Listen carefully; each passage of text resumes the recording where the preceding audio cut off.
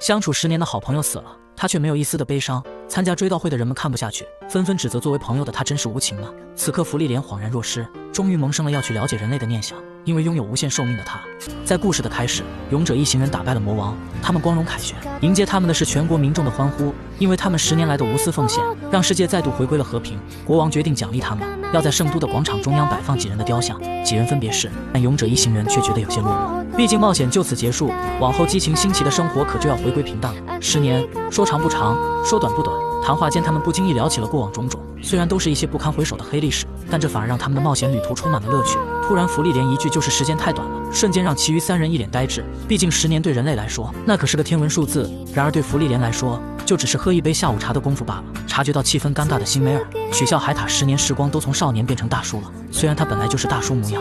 黑色幽默过后，他们看向天空，此时正有流星划过，是五十年一次的半世纪流星。可由于他们身处低洼的街道，感受不到那种高处看流星划过眼前的惊艳。于是弗利莲提议，他知道一个地方有着更好的视野，希望在五十年后四人能重新聚在一起看流星雨。听闻此言的辛梅尔突然大笑，他没想到一向不食人间烟火的弗利莲，竟也会为伙伴考虑这些。到了第二天，弗利莲决定再次踏上收集魔法的旅途。估计要花一百年左右在中央诸国寻找，不过他保证，在一百年间他会时不时回来探望众人的。看着芙莉莲这一别就是五十年，期间芙莉莲游走于世界各地，收集并研究魔法的奥秘。他在人迹罕至的洞穴收集用于开发魔法的宝石，在郁郁葱葱的森林里拔起充饥的萝卜，时常也会在江边垂钓看书。当然，还是避免不了被宝箱怪吞进去的尴尬。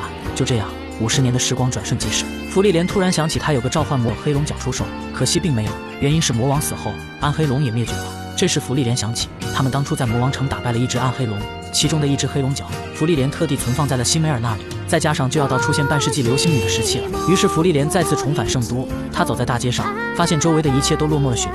快到了约定看流星雨的时间，四人又再度聚在了一起。这时的海塔从当初的小僧侣，成了如今圣都的主教，外貌没有变化的，也只有身为精灵的芙莉莲和矮人族的艾泽。他们到目的地还要走上一周的路。这对三位老人家来说简直是折磨。不过在这短暂的旅程中，戴暮年也能再度体验，借他将四人再度聚在了一起，在他生命的最后一刻能看如此美丽的流星雨。在那之后不久，勇者辛梅尔的生命走到了终点，人们在教堂上为他举行追悼会。可他们看到芙莉莲面无表情，没有一丝悲伤的情绪。信仰勇者的民众纷纷指责芙莉莲无情无义，芙莉莲有被打击到。见状，海塔和艾泽帮忙解围，说着他们也是面无表情哦，瞬间就转移了民众的攻击对象。在看到躺着不动的辛梅尔时，芙莉莲恍然若失。他终于意识到这个伙伴真的不在了，可他愿在的时候和他聊聊，让一切美好都成了遗憾。在葬礼结束后，三人也到了离别的时候。海塔蹲下身子，仔细端详两人，因为他也不确定这会不会是他与两人的最后一面。毕竟他常年酗酒，身体也渐渐出了问题，真不知道哪天会突然离去。在告别海塔后，芙莉莲一人再次踏上了收集魔法的旅程。